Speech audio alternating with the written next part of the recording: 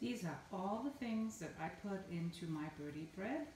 This is just a quick picture. I will go over all of the ingredients later. Hello, this is Melanie from Mel and Milo. Today I'm going to show you how I make my birdie bread for my parrot Milo, who you see here in the back room. I will start with a base of cooked sweet potatoes and carrots. So the first thing I do is I cut the carrots into smaller chunks. I leave the skins just because I was once told that all the nutritions are in, in the skins. Hope that's true. And then I will just uh, throw it in the water, just like you would when you're boiling potatoes.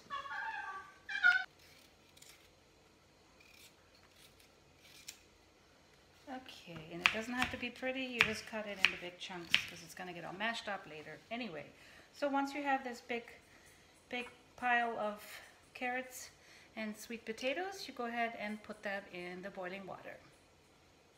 I have already cooked uh, corn on the cob where I'm going to just remove the kernels right now.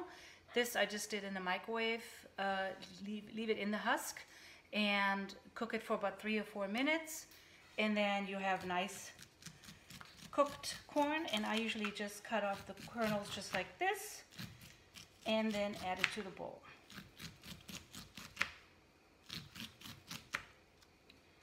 There we go. This goes on the bowl. Okay. Then I have already cooked some acorn squash. Normally you can leave, you can leave the seeds for this purpose of making the bread, I'm going to remove the seeds. As you see, it's very nice and soft.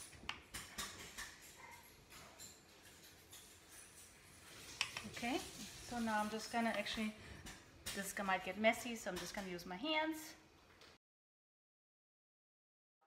I forgot to push record, so here I am using my tiny mixer to dice the chili peppers and the paprikas.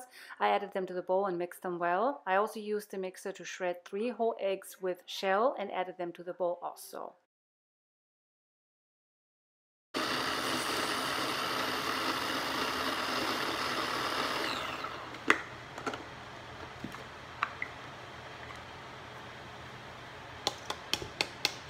These are the Roudybush these short ones.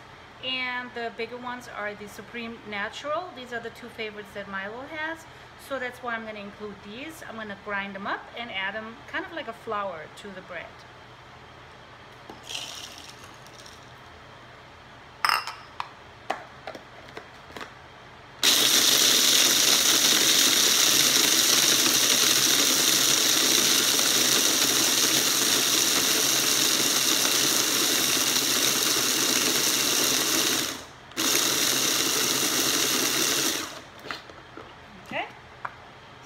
kind of like a flour now. It's really fine.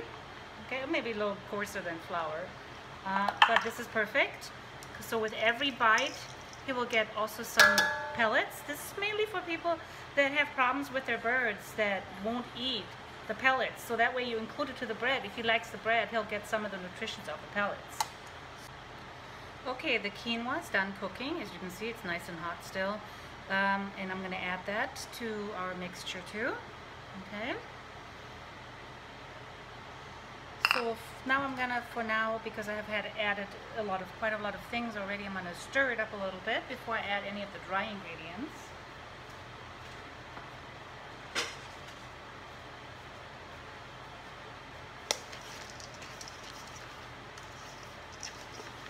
When it's all said and done, you shouldn't need any any moisture, you shouldn't need any water, anything to uh, bind any of these ingredients because as vegetables have a lot of moisture already. So. All right, so the next thing we're going to be adding is the apple.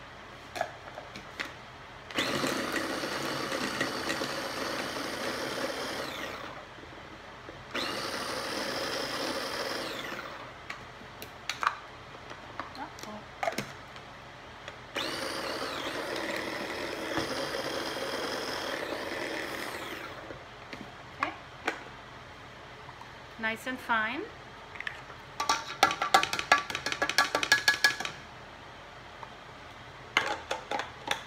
Okay, that should probably be it for the mixer. I shouldn't need it anymore.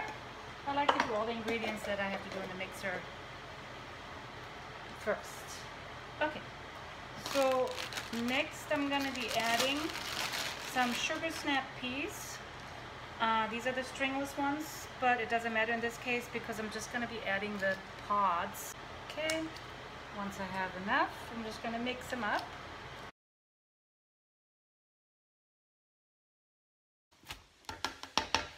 Okay, and we're going to try to start mixing that in. We'll have to mix it a little better later. Okay. Then I'm going to use organic coconut oil, which is solid in the in the jar. So I put it in the microwave to liquefy it, and I'm going to add it to the mixture.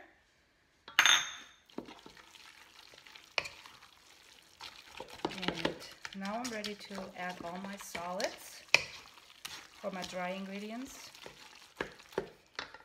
I'm going to add some Jiffy cornbread mix.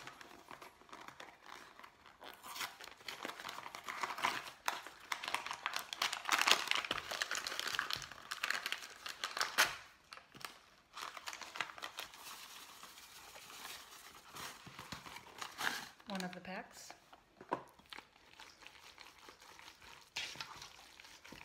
Mix it up nicely.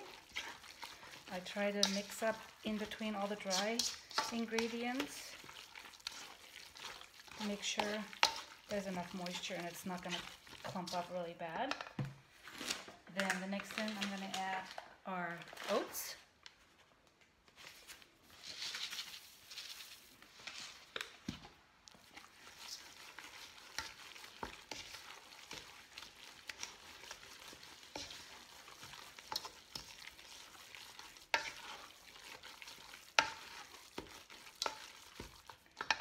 The next thing I'm going to add is buckwheat.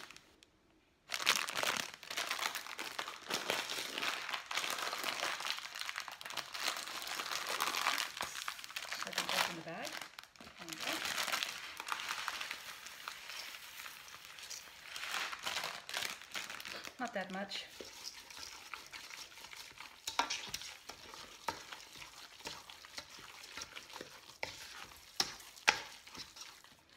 Okay, then I'm going to be adding organic flaxseed.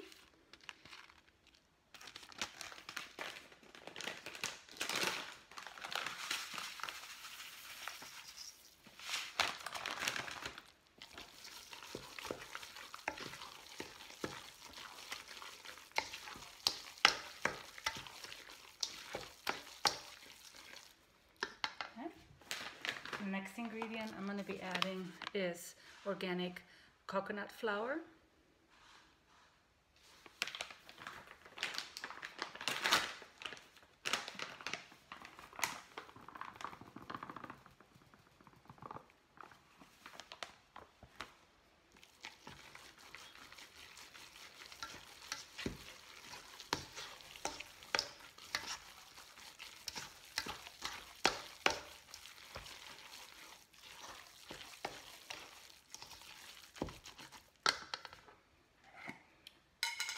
After this, I'm going to be adding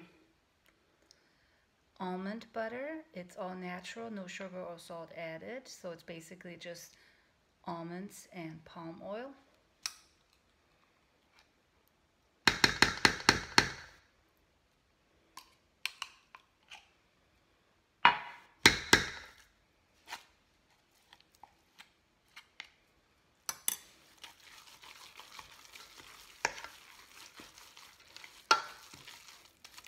Oh, I just spilled.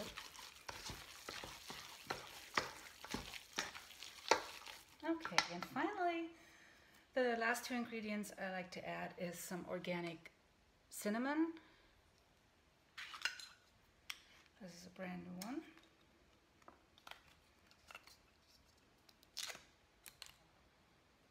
I like to put quite a lot. Milo likes cinnamon. And some chili powder.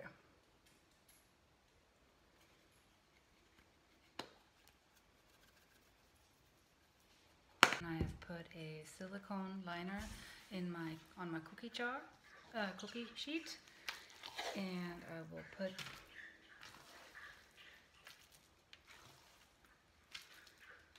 I'll probably be able to make two sheets with this. Okay, so now I have two sheets of the birdie bread. And this is the, the consistency that my bird likes.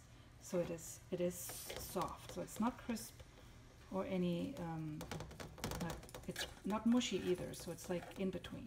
Okay, so cut it in small squares, however big your, your bird is and how much you think he'll eat and then you cube it and you put it in little baggies.